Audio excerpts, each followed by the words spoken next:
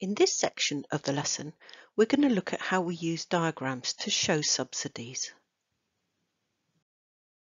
We use a demand and supply diagram to show subsidies. So we have price and quantity on the axes. We have our original demand curve. Our original supply curve is labelled supply pre-subsidy, which gives us a market equilibrium of P1, Q1. When the subsidy is applied to the market, this shifts the supply curve to the right because it lowers the costs of production.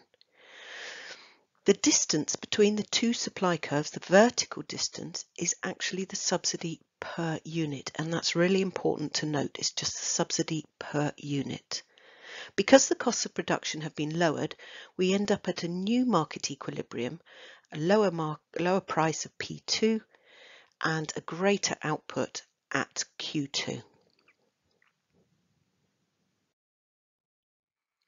It's really important not only to be able to draw diagrams accurately, but actually to be able to explain subsidies using the price mechanism. On this slide is a piece of analysis explaining exactly what is happening when a subsidy is applied to a particular market. What I would like you to do is to read the paragraph and highlight or underline all the connective words or phrases in that paragraph. Secondly, I would like you to describe the features of good analysis. Firstly, those shown in the paragraph itself, and secondly, how good analysis is demonstrated in that diagram. So I would like you to pause the video and then to rejoin me when you've underlined all the connective words and phrases and when you've described the features of good analysis in the paragraph and good analysis in the diagram.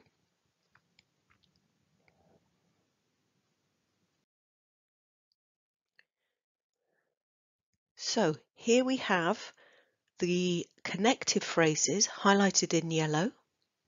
So what these do is force you to analyze. They force you to create a chain of reasoning. And they are particularly useful in ensuring that you give depth to your answer. So using things like this allows, this means that, this signals, so, therefore, this is because. It forces you to explain in greater depth. So therefore you are analysing What makes up good analysis in that paragraph? Well, using technical terminology is really important. So if you're in year 12, of course you won't be using theme 3 terminology yet, but if you're using this video as a revision, then you should be thinking about how you can embed theme 3 terminology within these answers, even though you may think, well, that's examining a theme one concept, you can still use theme three terminology. Do use hedging words, things like should, might, could, because nothing in economics is ever certain. The connective words we've spoken about, using things like consequently, this leads to, therefore, as a result, Obviously, you're going to need longer chains of analysis in 15 and 20 mark and 25 mark questions than in an 8 or 10 mark. So use your judgment when you're answering your particular question. And just to keep you on point, try to use as many words from the question as you can in the first and last sentence of your analytical point. The diagram should be fully labelled so do check your axes, your curves and your equilibrium. So make sure you label everything. We say diagrams should be ACE diagrams, ACE, axes, curves, equilibria. They should be accompanied by written analysis, something like that we've just seen, where you're referring to your diagram. This moves P1 to P2, and this increases output from Q2 to Q3, etc. And do try to use dynamic rather than static diagrams. So aim to do something with your diagram. Indicate an area, shift a line, show a change. Make sure your diagrams really work for you. Now we're going to see how we use a subsidy to tackle positive externalities. So positive externalities result in either underconsumption or underproduction. So here we have a market failure diagram with costs and benefits on the y-axis and quantity on the x-axis.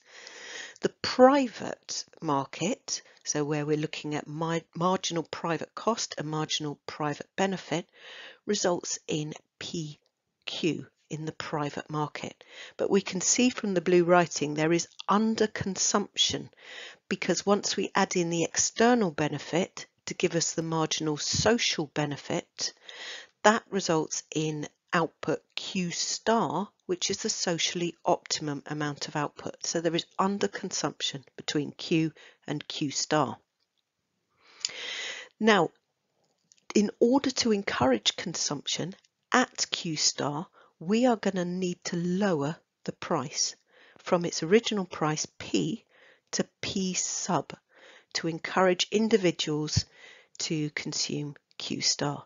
So we have the marginal social cost plus subsidy, the green line on there, and that gives us our socially optimum output and our socially optimum price is now P sub.